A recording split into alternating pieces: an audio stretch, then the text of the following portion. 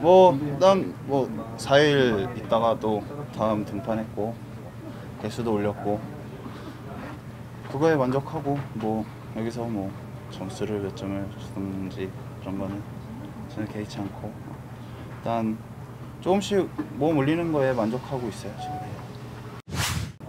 당연히 더 올라와야 된다고 생각하고 예. 천천히 이제 뭐 앞으로도 뭐 세 번 정도 세 번 네 번 정도 더 남았기 때문에 예, 조금씩 더 올리면서 안 아프게 던지는 게 예, 가장 중요할 것 같아요.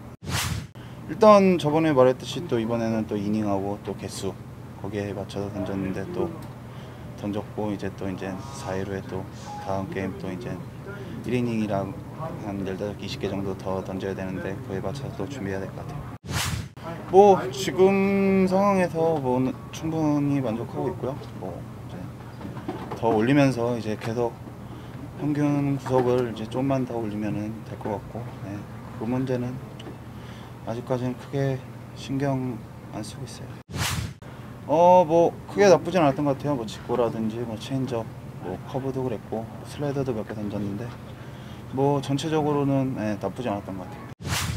일단 항상 마운드 올라가면은 일단 본래 줄 생각은 안 하고 일단 스트라이크를 많이 던지려고 예, 목표로 던지고 있고요. 그러다 보니까 일단 스트라이크가 많은 것 같은데 그거에서는 또 좋은 쪽이라고 생각하고 있고 예, 항상 좋게끔 가려고 생각하고 있어요. 아니 달라지진 않을 것 같아요. 예, 바로 똑같이 이제 다음 스케줄대로 가서 던질 것 같아요. 일단 뭐 이 선수들도 이제 당연히 큰 무대를 보고 같이 노력하는 선수들이기 때문에 항상 운동할 때나 뭐 경기 전이라 또 준비하는 과정도 선수들 다 집중해서 하려고 하고 있고 경기하는 자세도 되게 좋은 것 같고 나중에 또 다들 올라올 선수들이기 때문에